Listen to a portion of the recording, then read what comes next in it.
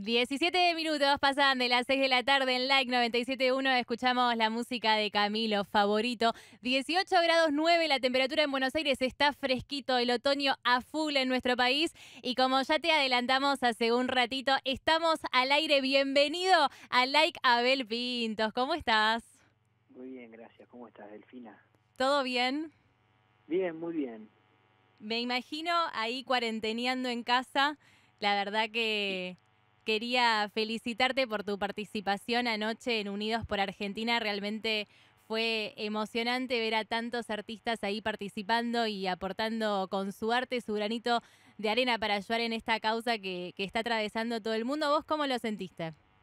Bueno, antes que nada, muchas gracias. Eh, la verdad es que es emocionante poder estar en contacto con los demás de alguna u otra manera, ¿verdad? Estos días eh, son días de hablar mucho por teléfono o intentar videollamadas con los seres queridos, con los amigos, bueno, con la familia, porque uno necesita de contacto, ¿verdad? En casa estoy rodeado de amor y, y, todo se hace muy amable, el tiempo lo, lo pasamos de la manera más amable y, y todo lo difícil que es este momento para todos se hace un poco más amable, pero aún así uno necesita estar en contacto con los demás. Eh, fundamentalmente cuando, cuando uno además de disfrutar ese contacto con los demás, también está acostumbrado y necesita ese contacto por tantos años de dedicarse prácticamente a eso, porque en definitiva, viste cuando sos músico y, y te gusta tanto hacer conciertos y estar todo el tiempo viajando, como es en mi caso, bueno, ese contacto con, con el público y con los demás, insisto, es muy necesario. Entonces en estos días en los que uno está en casa, porque es muy importante y, no nunca está de más repetirlo, es muy importante que, que, nos quedemos en casa en la medida que podemos.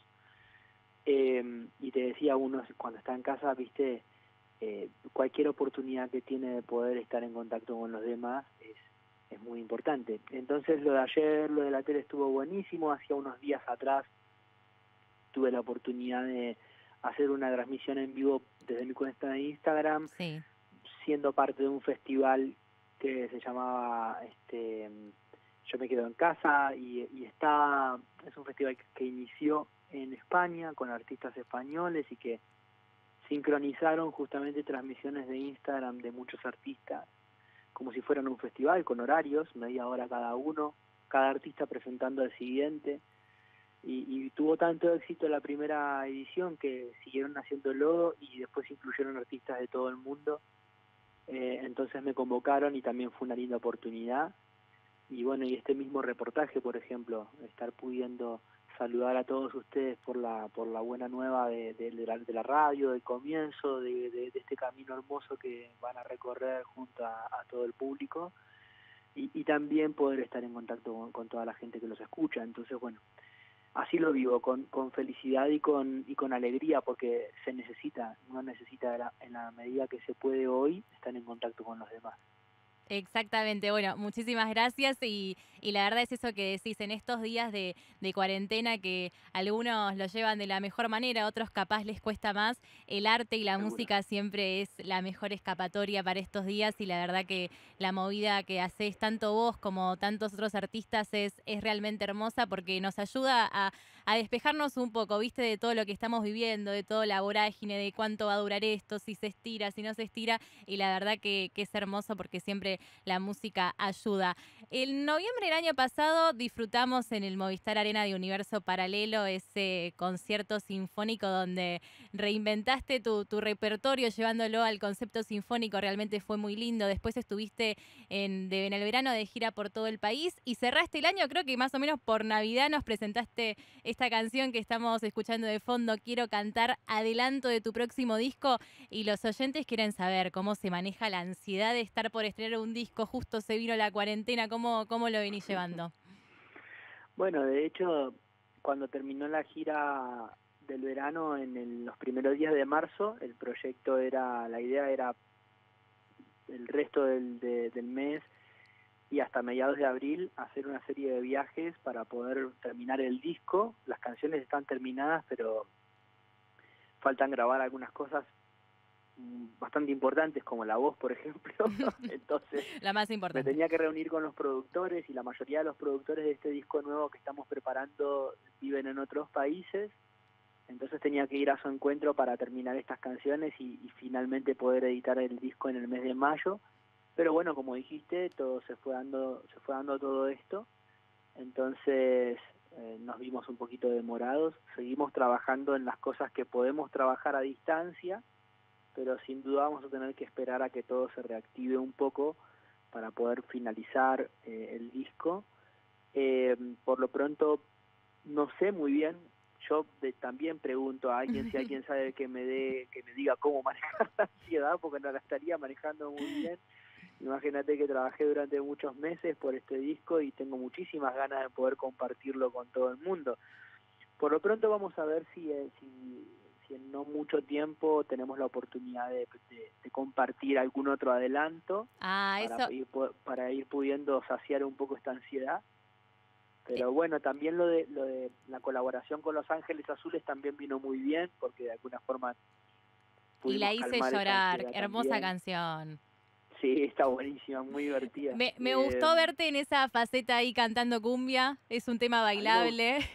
Me gusta mucho la cumbia, me gusta mucho, escucho mucha cumbia desde que era un niño, siempre tuve bandas favoritas de cumbia. Sí, sí, Los Ángeles Azules encima.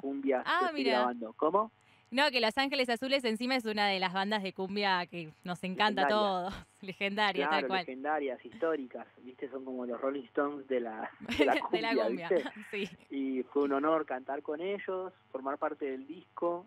Eh, si todo sale bien y en unos meses todo se reactiva y este coronavirus puede ser un, contenido en Argentina y en, y en todo el mundo, eh, probablemente hagamos algunas cosas juntos con, con Los Ángeles Azules. Digo, se armó una linda relación. Pero bueno, en definitiva vamos a esperar un poco más para editar el disco completo, el disco nuevo completo, pero como te decía, estamos ahí trabajando a distancia todo lo que podemos, eh, sobre todo con el equipo, con Sony Music y tal, para, para buscar la forma de poder editar algún adelanto pronto y, bueno, y que, la espera se haga un poquito más corta. Y sí, porque al igual que vos, todos también estamos muy ansiosos. Recién me mencionaste que en algún momento compusiste alguna que otra cumbia. ¿Se va a poder escuchar eso capaz en este, en este nuevo disco? No, en, el disco, en este disco no hay una, no hay cumbia, pero grabé una cumbia que se llama Buenos Amores, eh, creo yo en el 2006, en mi disco Reflejo Real Después grabé una cumbia en el 2010 en un disco que se llama Revolución y esa cumbia se llama Incomparable. Después grabé una cumbia o una canción, es una cumbia medio pop que se llama Cuántas veces en el disco Abel.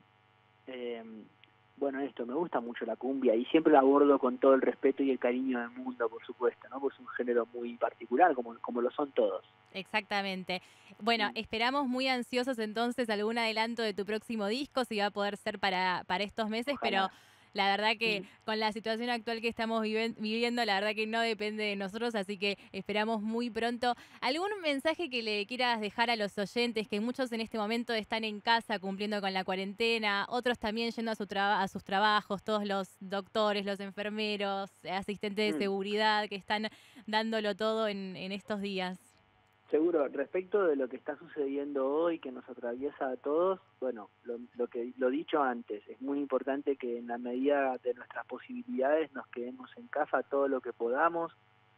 Es, duro, es difícil, pero es importante eh, evitar los, las reuniones, los contactos con, con personas que, que, no sea muy necesario tenerlos, este, salir lo menos posible. Obviamente hace falta siempre en algún momento salir a comprar alimentos o a cosas realmente importantes y en, esas oportunidades hay que hacerlo con todas las precauciones del caso, ¿no? Este, fundamentalmente cuidarse y también cuidar a los demás. Eh, luego a, toda la gente que, entonces a, a, todos los que se están quedando en casa haciendo ese sacrificio, ese esfuerzo enorme, desde ya muchas gracias porque nos estamos cuidando entre todos y es muy importante que tomemos conciencia y también el abrazo, el, saludo, el, el, valor, el deseo de, de valor a todos los que cada día salen a trabajar porque tienen que hacerlo, ocupan cargos y, lugares de trabajo que, que no pueden ser interrumpidos.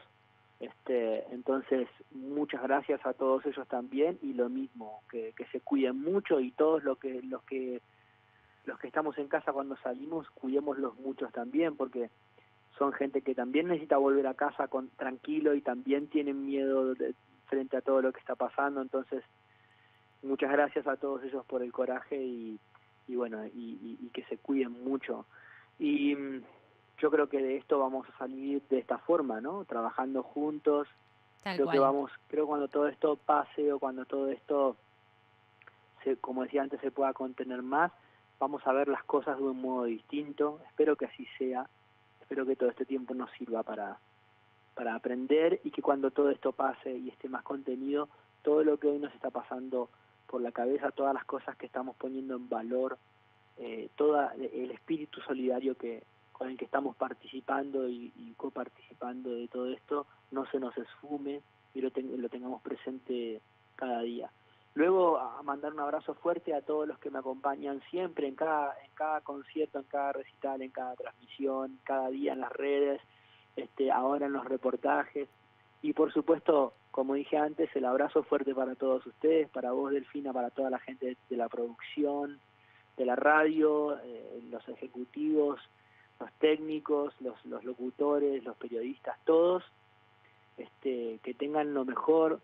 Es un camino nuevo, es un camino de que, va a tener mucho por delante, si Dios quiere, cuentan con mi apoyo y seguramente con el del público también. Así que bueno, hacerlo con mucha felicidad y con mucho amor, que, que es como se deben hacer las cosas, o por lo menos es como se disfrutan. Desde ya les agradezco profundamente porque también en estos días y en este tiempo en general del mundo, digo, encarar una radio, encarar este camino, es un trabajo, es muy trabajoso, ustedes lo saben. Sí, obvio que, merece un esfuerzo muy especial, una energía muy especial. Y yo se los agradezco profundamente porque mantienen viva la música, mantienen viva la llama de la cultura y, y, y, le dan trabajo a muchísima gente y nos dan espacio a los artistas y sobre todo le llevan alegría a muchísima gente a sus hogares, que es tan importante y tan necesario. Así que muchas gracias y felicitaciones. Muchísimas gracias a vos. La verdad que como decías recién, todo esto nos va a dejar una enseñanza y está bueno también que nos haya tocado en esta era digital que nos permite acercarnos a los artistas también, esto de la videollamada, las entrevistas por teléfono. Desde ya, obviamente, te esperamos en la radio cuando todo esto pase, que vengas acá, sos más que bienvenido. Y no quería dejar de felicitarte porque vas a ser papá. Te mando un beso y un abrazo enorme a vos, a Mora, que me imagino a tu mujer que debe estar por ahí, así que les mandamos un beso un beso muy, muy grande, que se cuiden a full en estos días, quedarse en casa, no, no quería dejar de felicitarte. Muchas gracias, muchas gracias. Un momento sin duda maravilloso, un momento más especial que he vivido, que me ha tocado atravesar en mi vida y, y me siento, bueno, realmente este, feliz y, renacido, no sé cómo explicarlo, la verdad, no, no, no, no encuentro palabras que le hagan justicia, así que estoy súper contento, te agradezco por el detalle y, bueno, este, nos estamos cuidando y, esperando con, con mucha felicidad. Me imagino, les mando un beso enorme. Abel, realmente muchísimas gracias, por esta entrevista, por tomarte el tiempo. Te mando un beso enorme y seguramente te estaremos viendo en las redes, capaz cantando alguna otra canción en estos días.